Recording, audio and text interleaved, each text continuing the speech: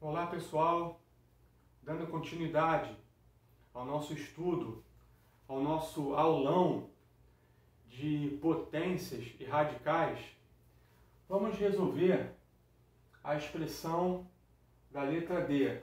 Já fizemos A no primeiro vídeo, no segundo fizemos as expressões B e C.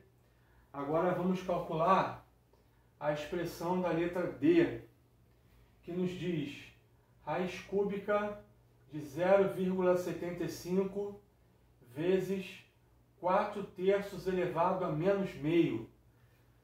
Uma expressãozinha pequena, mas com uma cara bem estranha. Olha só, vamos passar esse decimal 0,75 para sua forma fracionária. Esse é um conteúdo já muito batido, conhecido de alunos de nono ano. Eu vou antecipar dizendo que eu tenho raiz cúbica de 3 quartos. Ok? Raiz cúbica de 3 quartos.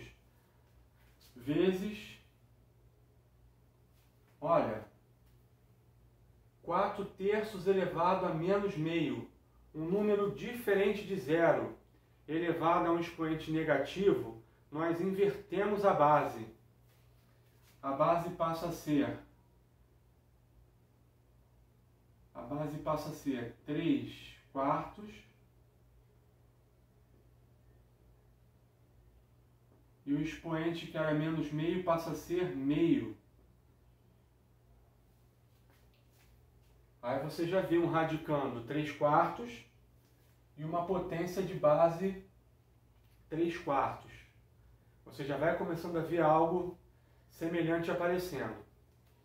Vamos lá. Raiz cúbica de 3 quartos, vou manter.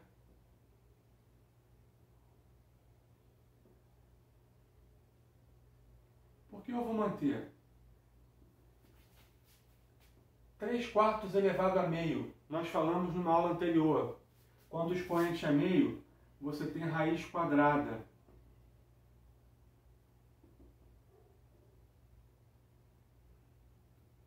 De 3 quartos. Raiz cúbica de 3 quartos vezes raiz quadrada de 3 quartos.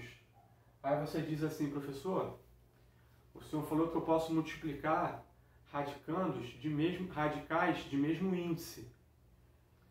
Tudo bem. Vamos ver aqui uma coisa muito interessante. Me permita ajustar um pouquinho o vídeo para que a gente não perca nada. Olha só. Eu tenho 3 quartos, raiz cúbica de 3 quartos. O meu radicando é 3 quartos. Eu posso considerá-lo como uma potência de expoente 1. Então eu tenho dois expoentes, um terço e, ó, posso considerar como uma potência de expoente 1. E posso escrever dois aqui. Não é usual, mas não tem problema você escrever.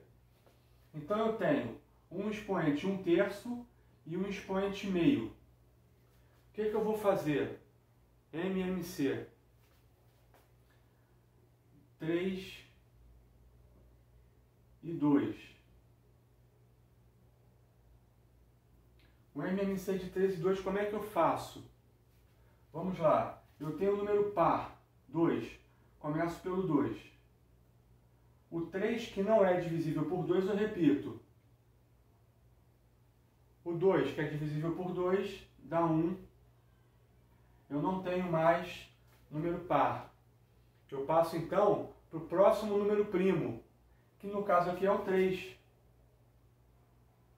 O próximo número primo que se enquadra na nossa questão é o 3.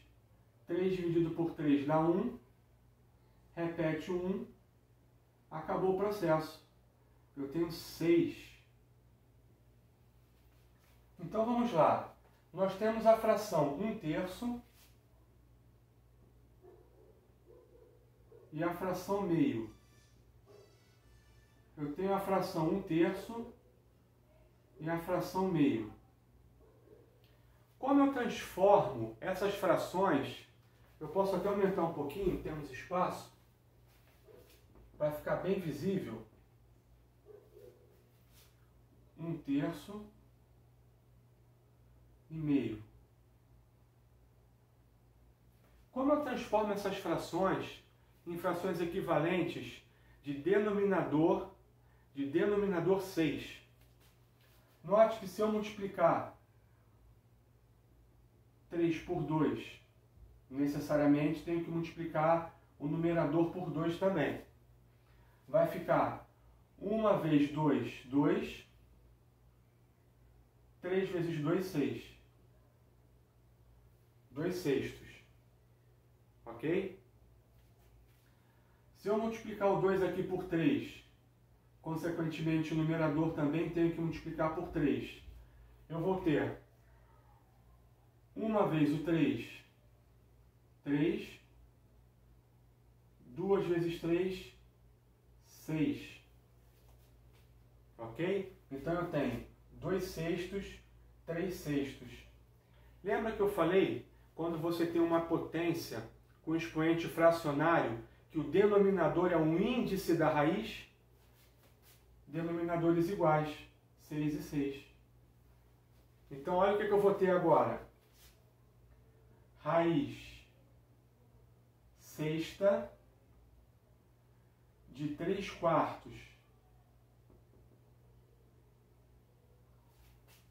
ao quadrado, ó, o numerador vai para o expoente do radicando. Vezes raiz sexta de 3 quartos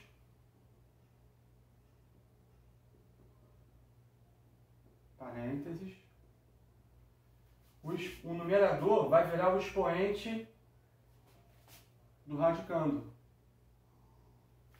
Agora tenho radicais com o mesmo índice. Vou ter aqui raiz sexta, raiz sexta de 3 quartos ao quadrado vezes três quartos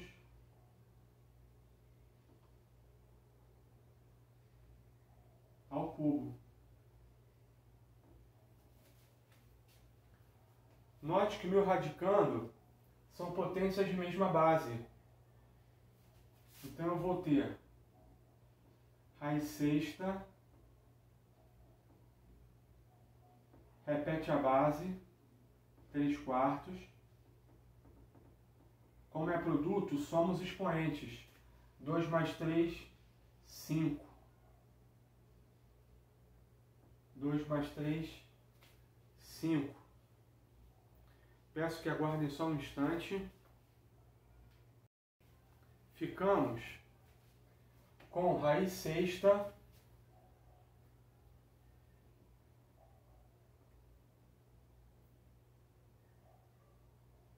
uma fração elevada a um expoente inteiro. 3, 3 elevado à quinta potência sobre 4 elevado à quinta potência. Ok? Me permita ajustar um pouquinho mais. 3 elevado à quinta potência sobre 4 elevado à quinta potência que é igual a raiz sexta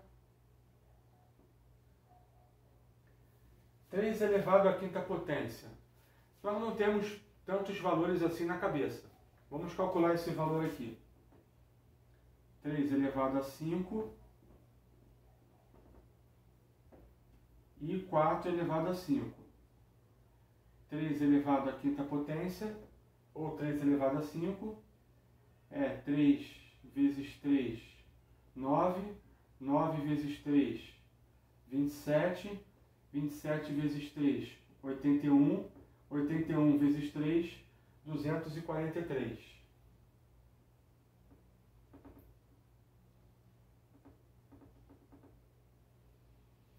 E 4 elevado a 5, 4 elevado a 5 é o mesmo que 2 elevado a 10. 4 elevado a 5 é o mesmo que 2 elevado a 10. Vou ajustar mais um pouquinho aqui para poder aparecer o cálculo. 4 vezes 4 vezes 4 vezes 4 vezes 4. 5 fatores. 4 vezes 4, 16. 16 vezes 4, 64. 64 vezes 4, 256. 256 vezes 4, 1024.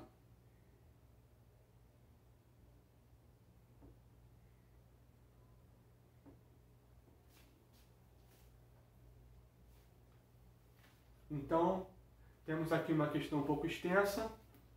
Me permita ajustar um pouquinho para a gente ter uma, uma clara noção da questão.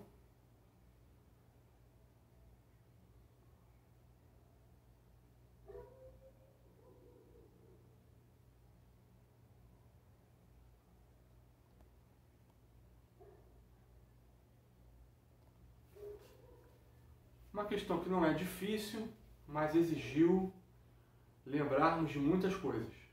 Já temos 11 minutos, não vou gravar outra questão nesse vídeo. Desejo a todos bons estudos.